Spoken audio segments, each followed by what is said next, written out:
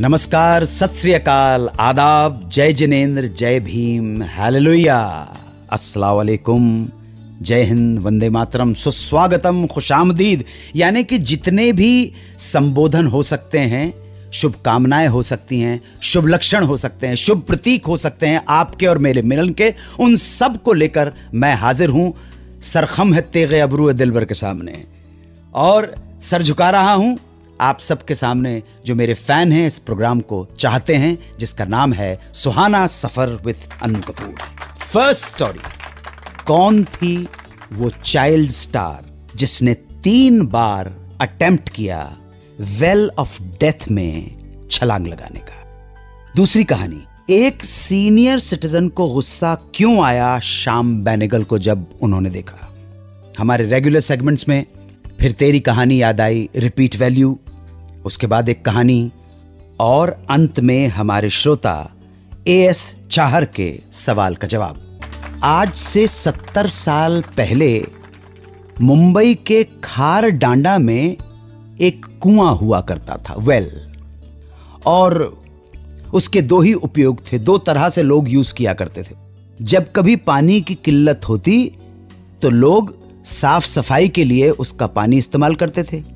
या फिर किसी को अपनी लाइफ का दी एंड करना होता था तो वो उस कुएँ में छलांग मार देता था या देती थी।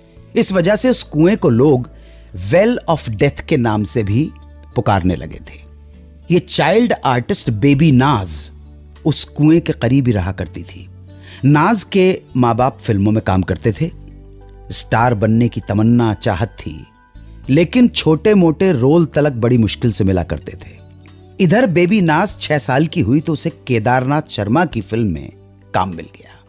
फ़िल्म थी गुनाह। इस फ़िल्म में काम के बाद नाज के माँ बाप को घर चलाने का रास्ता मिल गया। नाज ने फ़िल्मों में काम करना शुरू कर दिया, लगातार। और इस तरह से नाज ने घर वालों का पेट भरने के लिए एक रोज़गार आमद तलाश कर ही लिया। मगर इसमें बहुत कुछ खो गया। खो गया बचपन, वो खेल खिलौने, न सहेलियाँ, न कोई संगी साथी। बस दिन भर बड़ी बड़ी लाइट्स के सामने झुलसती, पसीने में नहा जाती और उसी हालत में रात को घर आकर सो जाती। माँ बाप उसकी कमाई पे ऐश कर रहे थे, मुर्ग मुसल्लम और बिरयानी का जायका ले रहे थे। मगर नाज के हिस्से में आता था आधा ग्लास दूध और सूखी ब्रेड के चंद टुकड़े। उसकी फ़िक्र करने वाला कोई नहीं था। और फ़िल्म आई बूट पॉलिश, जिसके बाद नाज हो गई स्टार। कान फ़िल्म फेस्टिवल में अवार्ड जीतने वाली इंडिया की पहली आर्टिस्ट बेबी नाजी थी। उस वक्त उसकी उम्र दस साल की रही होगी। स्कूल जाना चाहती थी, खेलना चाहती थी, ज़िंदगी और बचपन का लुत्फ उठाना चाहती थी। बच्चों की ज़िंदगी जीना चाहती थी, मगर ये सब खुशियाँ उसके नसीब में नहीं थी। उसके भाग्य में लिखा था, काम काम और काम। बारह साल की होते होते इस काम की ज़िंदगी से बेबी नाज उकता गई और वेल ऑफ़ डेथ में छलांग लगाने निकल पड़ी। लेकिन नियति को यह स्वीकार नहीं था। वो छलांग लगाने वाली ही थी कि अचानक उसके घर में काम करने वाली बाई आ गई और उसने बेबी नाज को बचा लिया। उसके बाद भी नाज ने तीन बार कोशिश की, लेकिन हर बार नियति ने किसी न किसी तरह से बचा लिया।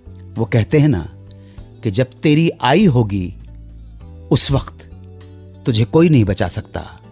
और जब तेरी आई नहीं है, उस वक्त दुनिया का कोई तुझे मार नहीं सकता है। आप सोचिए, तीन बार खुदकुशी करने की कोशिश की इस छोटी सी बच्ची ने। बारह साल की बच्ची की क्या मनोदशा होगी? क्या दर्द से गुजर रही होगी? कितनी आहत होगी वो? खैर जब उसने रियलाइज़ किया कि कई कोशिशों के बाद भी मौत नहीं आनी है तो नाज ने खुद को ज़िंदगी के हाल पर छोड़ दिया और काम करने में जुट गई। तकरीबन 125 फ़िल्मों में काम किया और हाईएस्ट पेड चाइल्ड आर्टिस्ट बन गई। नाज की ज़िंदगी में सुकून आया 1965 के बाद, जब उसने अभिनेता सुबिराज के साथ घर बसाया। और उनके दो बच्चों की माँ बनी। एक दिन शाम बैनेगल अंधेरी के वेस्टर्न हाईवे पर खड़े थे टैक्सी पकड़ने की कोशिश में। तभी एक बुज़ुर्ग सीनियर सिटीजन हाथ में छाता पकड़े हुए उनके पास से गुजरे। बुज़ुर्ग ने गौर से शाम बैनेगल को देखा और पलट गए, वापस आए, रुक गए। पता नहीं क्यों गुस्से में थे। छाता बंद किया। ये सब हरकत देखकर शाम बैनेगल की समझ में आया नहीं कि माजरा क्या है। उस आदमी ने छाते से इशारा करते हुए शाम बेनेगल को कहा, तुम्हें कोई अधिकार नहीं है मुझे डिस्करेज करने का डिसहार्टन करने का, परेशानी में डालने का शाम बेनेगल सक पका गए, साहब, क्या हो गया? कौन सी गलती कर दी? क्या हुआ, सर? जनाब, बताएँ तो सही तो उस सीनियर सिटीजन ने गुस्से में जवाब दिया, तुमने एक फ़िल्म बनाई है ना? निशांत। उस फ़िल्म को मैं देखने गया था। और तब से उस फ़िल्म को मैं अपने दिल से निकाल नहीं पा रहा हूँ। बेचैनी है, छटपटाहट है, तबीयत में अजीब सी एक घबराहट है। यह कहकर उस आदमी ने अपनी छतरी खोली और आगे बढ़ गया। शाम बेनेगल अवाक खड़े थे, खड़े रह गए। शाम बेनेगल को समझ में नहीं आ रहा था कि इस बुज़ुर्ग ने उनकी तारीफ़ की या शिकायत की। पसीना ज़रूर आ गया था इन बूढ़ी हड्डियों का गुस्सा देखकर सर हेलो कौन बोल रहा सर सर मैं मनमोहन सिंह विर्क बोल रहा हूँ जालंधर पंजाब से सर अच्छा जी विर्क जी विर्क जी की हाल है जलंधर तो बोल रहे हो सर, तुझे हाँ जी बिल्कुल जी मैं जलंधर से बोल रहा जनाब और अ, मैं ये कहूंगा कि जय नसीब आपसे बात हुई हमारी ਨਹੀਂ ਜੀ ਧੰਨਵਾਦ ਸਾਡੇ ਕਿ ਤੁਸੀਂ ਸਾਡੇ ਨਾਲ ਗੱਲ ਕਰ ਰਹੇ ਹੋ ਕਮਾਲ ਕਰ ਰਹੇ ਹੋ ਵਿਰਕ ਸਾਹਿਬ फिर दोस्तों बॉम्बे तक की हाल चाल है अ, मुंबई दा बस बूदी बूदी घटाएँ आती हैं मुतरदबों की हवाएँ आती हैं किसके गेसू खुले हैं सावन में महकी महकी हवाएँ आती हैं। क्या बात है? तो अनु जी एक मेरे तरफ़ से भी ले लीजिए प्लीज़ जी प्लीज़ इरशाद। हवाओं पे लिख दो हवाओं के नाम। वाह वाह वाह। ये किसके लिए है? ये है किसके नाम? इन अनजान परदेसियों का सलाम। बात पे लिख दो घटाओं के नाम। बहुत अच्छा गाया विर्क साहब आपने। जलंधर वाले जलंधर वालों के साथ साथ विर्क साहब की आवाज़ को पूरे देश ने सुना होगा। आप जानते हैं 92.7 बिग एफएम हमारी कंट्री का one of the top most radio channel है। जब अभय देओल को फिल्म्स में लॉन्च करने का वक्त आया तो बड़े भाई सनी देओल ने डायरेक्टर के लिए एक नए व्यक्ति को ब्रेक देने का सोचा। इस आदमी का नाम था इम्तियाज़ अली। फ़िल्म थी सोचा ना था। ये जब फ़िल्म बन रही थी तब इसी दौरान देओल फैमिली और इम्तियाज़ अली में अच्छे संबंध बन गए। बातों बातों में इसी दौरान इम्तियाज़ ने बॉबी को अपनी अगली फ़िल्म की स्क्रिप्ट भी सुनाई। बॉबी को बहुत पसंद आई। इम्तियाज़ ने कहा यह फ़िल्म मैं आपको लेकर बनाना चाहता हूँ। बॉबी तो वैसे ही इंप्रेस था। तुरंत हा कर दी। बॉबी खुश। सारी बात बड़े भैया सनी देओल के सामने पक्की हो गई और फ़िल्म का टाइटल भी रख दिया गया, गीत। बॉबी ने इस फ़िल्म को प्रोड्यूस करने के लिए इम्तियाज़ की मुलाकात अष्टविनायक प्रोडक्शन हाउस से करवाई। सारा पिचिन कर दिया। और बॉबी के रेकमेंडेशन पर ही इम्तियाज़ ने करीना कपूर को इस फ़िल्म के लिए साइन भी करवा दिया। लेकिन वक्त बीता और बीतते वक्त के साथ इम्तियाज़ अली, बॉबी देओल से बच बच के निकलने लगे, दूर रहने लगे, कटने लगे। बॉबी ने इनिशियली महसूस किया कि शायद बहुत मसरूफ हो गया होगा। लेकिन ऐसा नहीं था, झटका तब लगा जब अचानक फ़िल्म के बनने की खबर आई।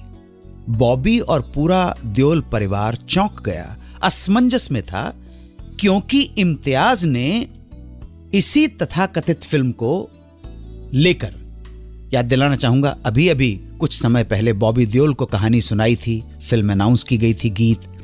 फ़िल्म का टेंटेटिवली सारा का सारा डिसाइड हो गया था।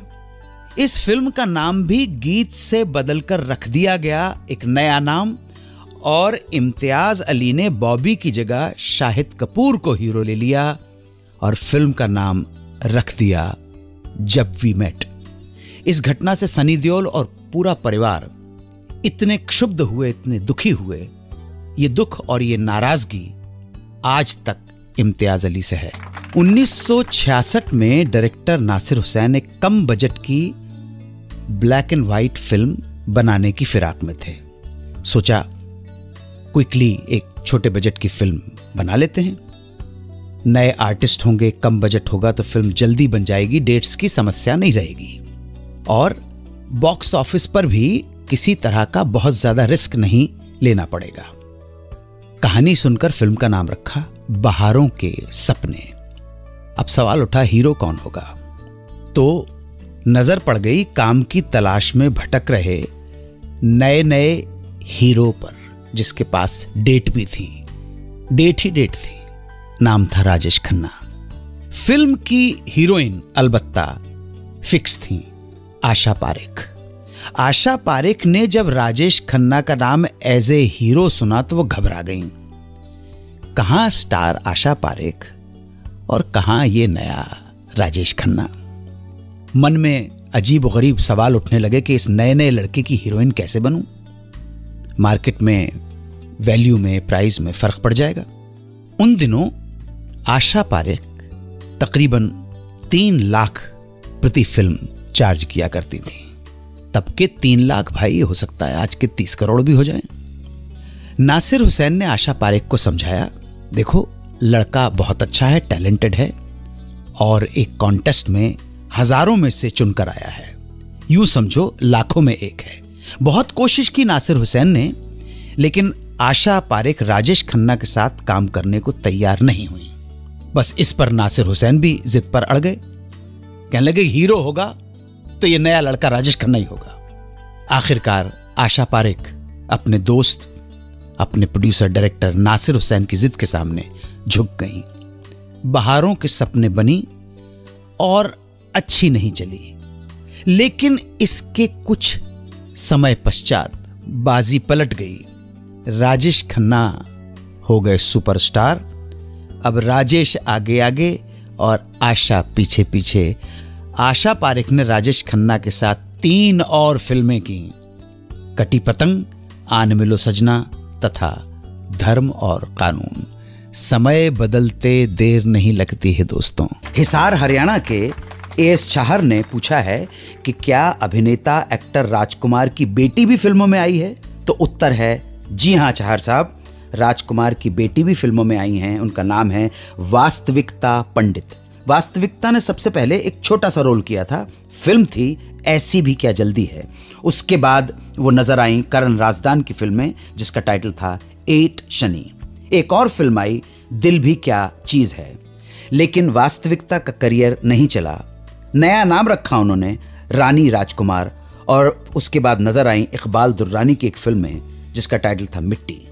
उसके बाद वो अपने प्रोफेशनल करियर में ज़्यादा आगे नहीं बढ़ पाई। मुझे उम्मीद है कि हरियाणा के जितने लोग सुन रहे होंगे, खासकर हिसार के ए एस चाहर ने सवाल पूछा था, उत्तर से वो संतुष्ट होंगे। मेहरबान दोस्तों, आज के लिए इतना ही। आज्ञा दीजिए मुझे, फिर भेंट होगी उस कार्यक्रम में जिसका नाम है सुहाना सफ़र विदन्नू कपूर। जय हिंद, वंदे